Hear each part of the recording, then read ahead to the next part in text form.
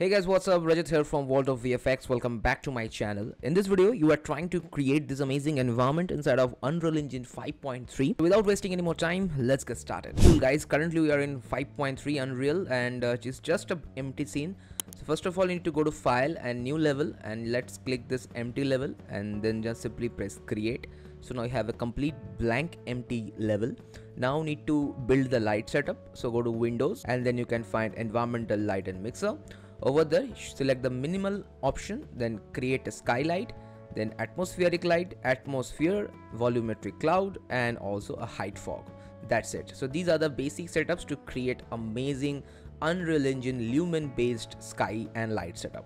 So if you notice the resolution of the clouds are very very low. So before moving forward need to check on something on your exponential height fog. So just i'll type volume and turn this volumetric fog and make sure once you go to the skylight and simply type real time and make sure this real time capture should turned on. Now need to adjust the exposure. To do that go to windows and you can find this place actors panel. Over there simply type post and then you can find this post process volume. Simply drag and drop. This will basically helps you to lock the exposure. So go to exposure panel turn this to and select this and type 0.1 and this one also 0.1 so now your exposure is typically locked. So now let's do some correction on our environment. As i told earlier this uh, clouds are very very poor quality. So before doing this just go to the plugins and you need to turn on one called volume and you can find this volumetric. Simply turn this on and obviously unreal engine will ask you for restart. Simply restart it now after doing this you can find one assets pack in your default starter content pack. Go to engine you can find this uh, plugin. And go down you can find an option called based on volumetric. As you can see this is called volumetric content. Simply double click go to content then sky and then materials. Now you can see there are few number of uh, what you can say volumetric cloud assets. Now how to apply? Simply select this for example and simply select this volumetric cloud and go down. You can find this option called cloud material. So just back this to see how it will apply and then simply press this button and now automatically it start applying. And now you can see the resolution of the clouds are pretty nice. Okay cool.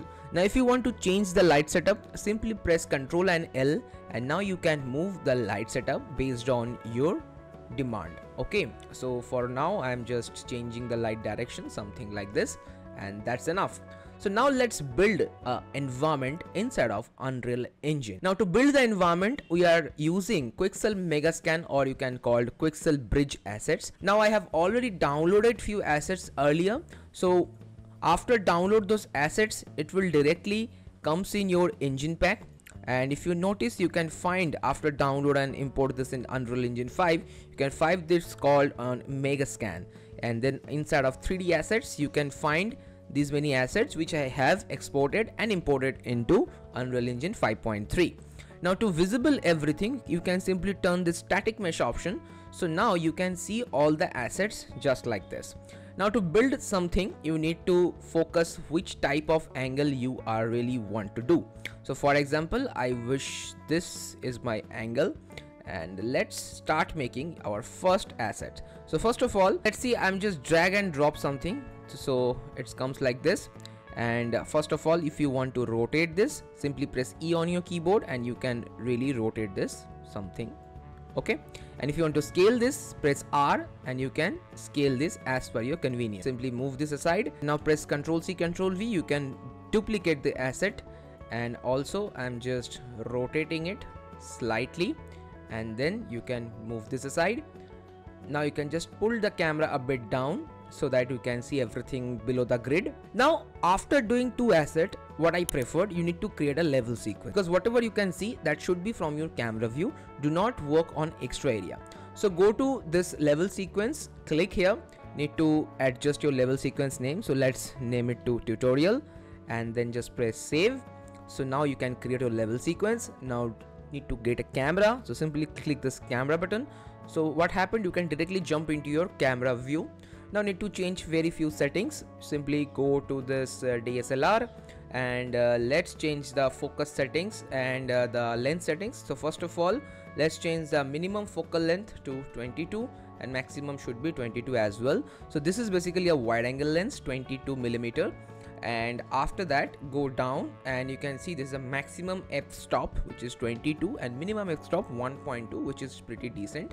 And for now current aperture is 2.8 let's change it to 1.8 so it can create a complete decent level and also a prime level bokeh and blur effect alright so now we need to give more assets as you can see in the screen and to make a really good foreground elements based on our this Quixel Megascan assets. And this will take some time so that's why I completely do this method in fast forward. Hopefully you guys will understand. Alright guys, now you can see our basic FG environment is set up properly. Now let's jump into our camera view. So this will look like from our basic camera view. Now we need to add a mountains completely in far. So if you can, you can download some mountains from any other sites like Sketchfab and all. But I have already downloaded one single mountain from Megascan asset pack. Now simply jump back to our basic camera view and over there you can find this big giant mountain so to apply this first of all you need to go very far from our this because the mountain is pretty pretty large so that I can see everything properly. So just increase the camera speed so that we can go very far. Now simply drag and drop the mountain here. Now you can see this is the mountain. As I mentioned it's pretty pretty large. Now move this a very decent level of far experience.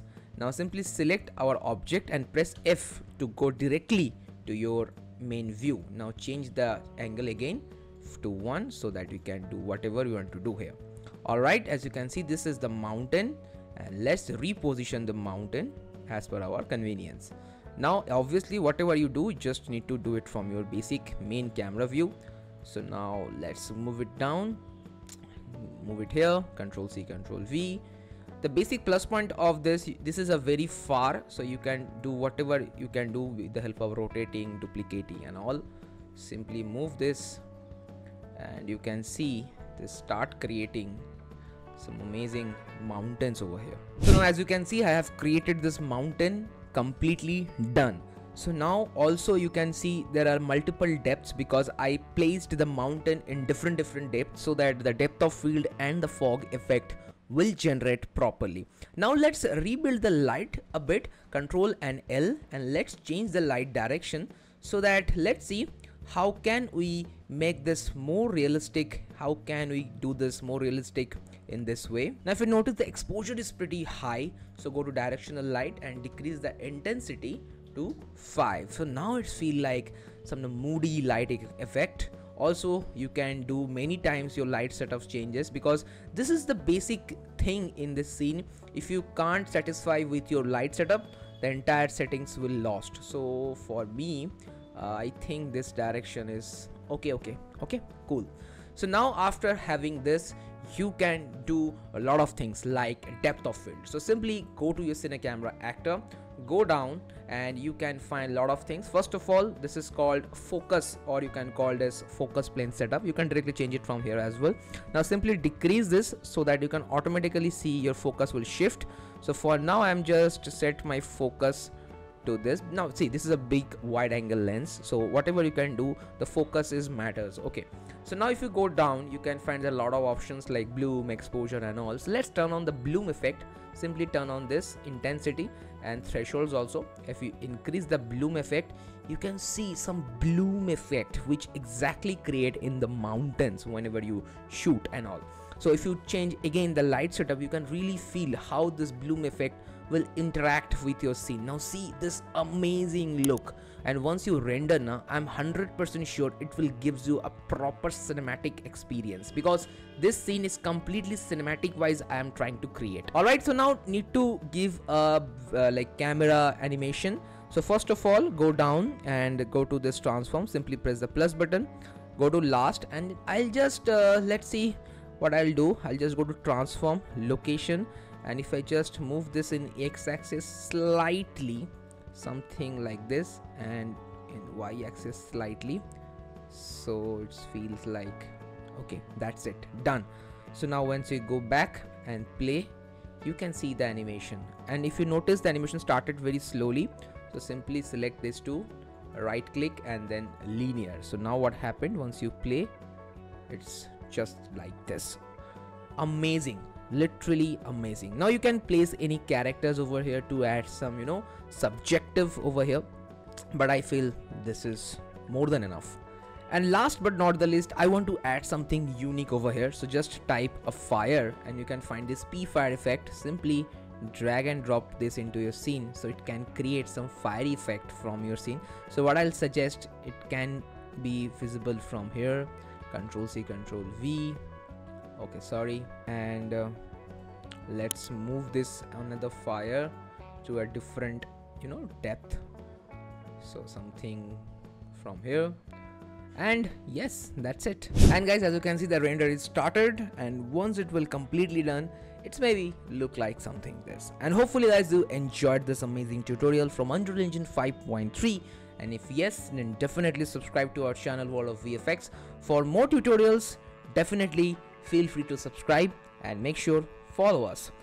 See you soon with some more amazing new content. Till then keep watching keep rocking World of VFX